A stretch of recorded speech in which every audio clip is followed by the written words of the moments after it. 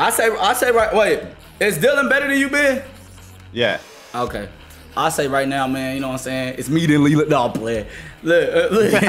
I, you know what I'm saying? Probably Leland, then me, then Dylan, then Ben, then Dez. I think it just depends on who fighting who, honestly. Good.